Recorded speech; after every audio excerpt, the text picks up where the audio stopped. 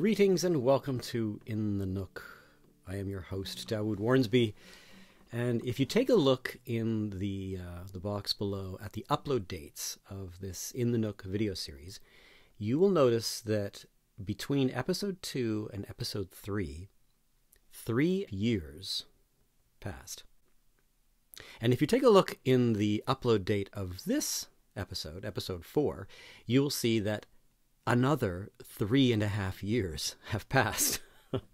we live in a world where people update their YouTube channels once or twice a day sometimes, and I upload every three and a half years. What can I say?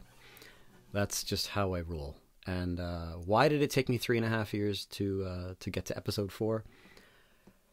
It's a long story. I'm going to spare you that story, and today I'm going to teach you how to play Out Seeing the Fields. This is an old song I wrote. I don't even remember when I wrote it. I remember when I wrote it, but it was a long time ago. It came out on the Out Seeing the Fields album, which was around 2006, and uh, that just shows you how, how long ago it was. The reason I'm doing Out Seeing the Fields is because uh, my young friend Ibrahim in Alberta, Canada, has requested how to play it and uh, I thought I'd share the the uh, the chords with you today and sort of how I how I play the song. So uh, it's like most of my songs, very simple, very simple, and uh, I usually start off with a capo. Uh, if you if you're playing along with the recorded album version, then the capo is at the second fret. That's normally where I play it when I sing it live, and that's where it is on the album as well. But I use formations of C and variations of F and G and uh, D minor and A minor. Those are the only main chords of the song, uh, and I use variations of those. So I will walk you through the variations that I use, uh, and then I will show you some of the hammer ons and, and pull offs that I use as well to create a bit of the melody for the song.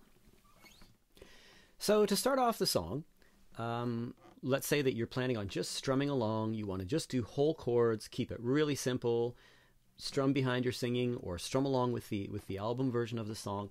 You're just going to alternate between C and F primarily. So you'll get uh, a sound with a bit of a strum, kind of like this.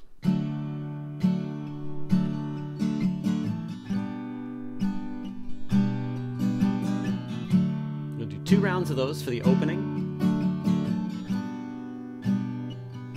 You sing. Briskly rising to the sky. Cold clouds rushing past.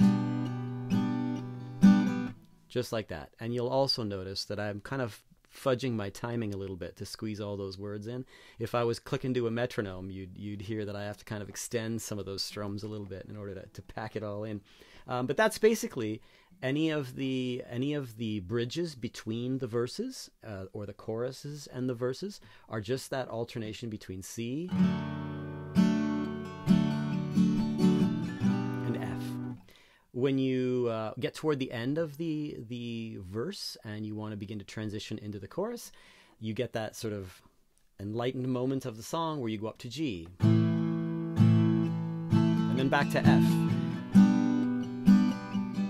then the chorus.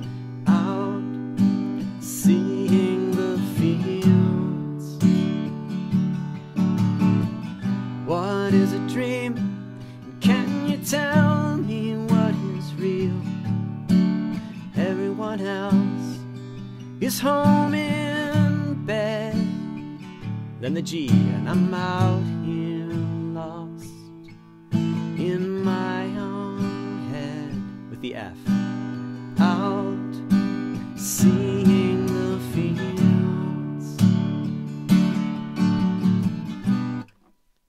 Pretty, pretty easy. The only change in that is when you get to the bridge of the song, which takes you to a D minor. Only feel close to you when I'm under open sky. And then to C, then to D minor. Only feel guided when I'm free to question why only when I smell the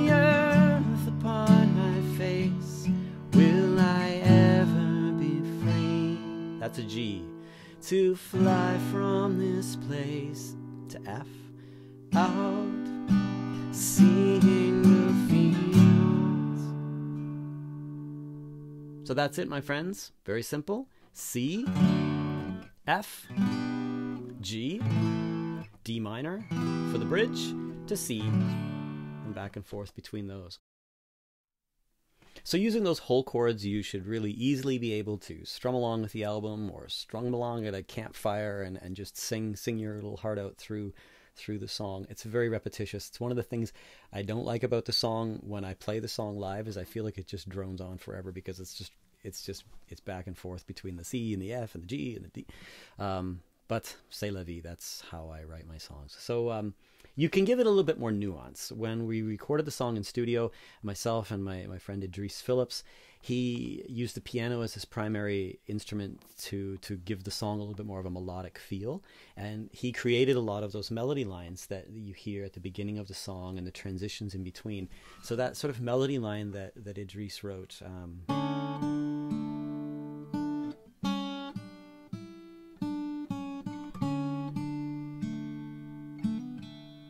kind of this. That's all Idris's handiwork on the piano. I try to replicate it simply on the guitar when I play it. Instead of just strumming through the song, I use uh, a little bit of plucking at the beginning. And uh, I'll show you how I do that. I'm going to show you some of the variations that I use. Uh, and I have to be straight up with you and tell you I am not a good teacher. To me, trying to help someone learn what I play on the guitar is like trying to explain to somebody you know how many times to pedal on a bicycle to to get it going. I think they call it playing music because you just need to play with it, make it your own. But what I do uh, for Out in the Fields is when I start the song off, I don't tend to strum. I tend to pluck, and I use these three fingers for my plucking. Usually, I use my thumb, my Peter pointer, my middle finger. As you can see, I even let the nails grow a little bit longer on those fingers and on the thumb, so I can get a, a good a good pinch and some plucking. And then when the song progresses and gets more dynamic and a little louder, I'll actually use my my fingernail to be my pick. I don't usually use a plastic pick um, when I play, very very rarely, and uh, I usually always use my fingers. So instead of doing the whole C chord, I will start off with uh, my first finger off of the fretboard, so I get this dreamy sort of sound. If you strum it, it sounds like this. If you pluck it, it sounds like this. And then I, I hammer on that B on the first fret on the B string. And then I use my Peter pointer over here to pluck the G. So I get that melody line.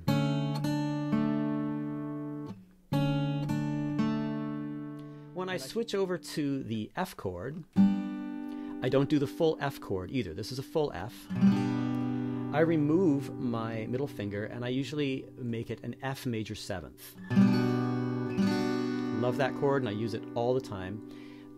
Uh, for those of you who are looking at my hand over here and have said, that's not how we do an F, many people will do the barring of the two strings on the bottom and then they will use their, uh, their chord like that to create an F. So they've got their pinky free to do hammer-ons over here. I don't do my F chords that way. I scrunch my two fingers together here, and then I use my ring finger and my pinky up here to create the F chord. And specifically for out seeing the fields, the reason why I do that is because then I can keep this finger off or hammer it on as needs be to create uh, the difference between the F major seventh and the the full F, right? So I go from the C plucking.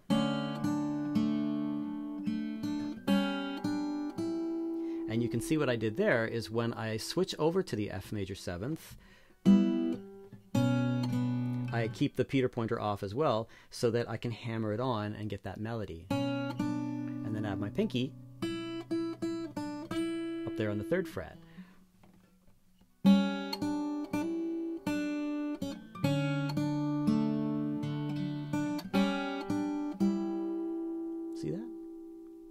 So um, it's not just a C, uh, it's a C.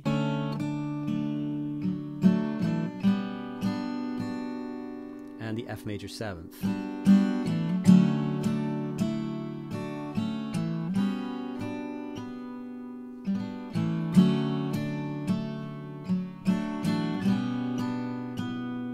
So something like that. So whenever you see the C, um, you can always substitute with that.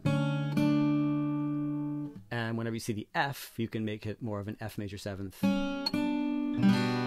And that's how you get those more dreamy um, kind of chords that I put in there. The rest of the D minor, I, it's always a full D minor.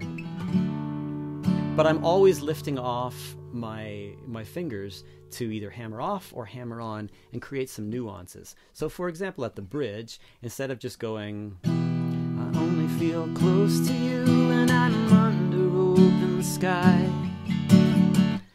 I will sometimes do things like this. Only feel close to you and I'm under open sky. Only feel guided when I'm free to question why. So you can see how when I take my, my, my pointer finger off,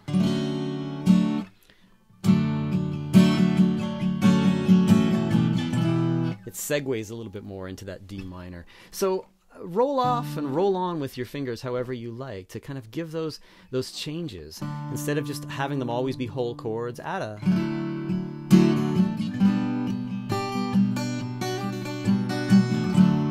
it kind of makes it more fun and adds those those noodly parts in there as well. So the song is a dreamy song. When you play it, feel dreamy. If you're singing it with friends in your living room or kitchen or around a campfire, make it dreamy.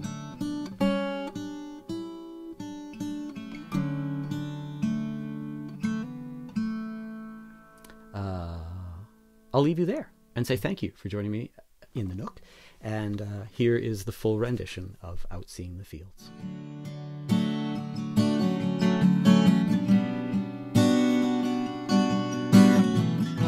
I only feel close to you when I'm under open sky.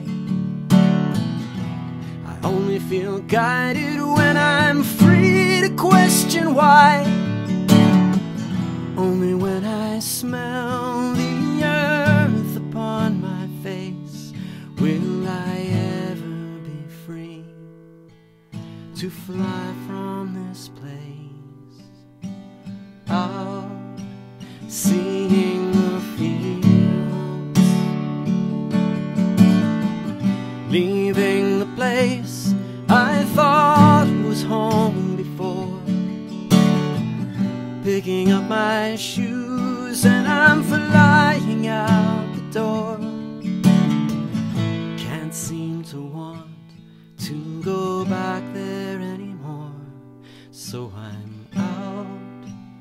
seeing the fields.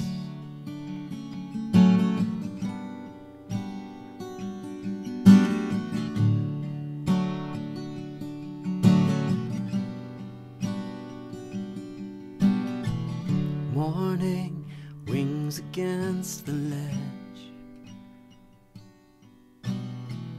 Frost trees painted on the glass.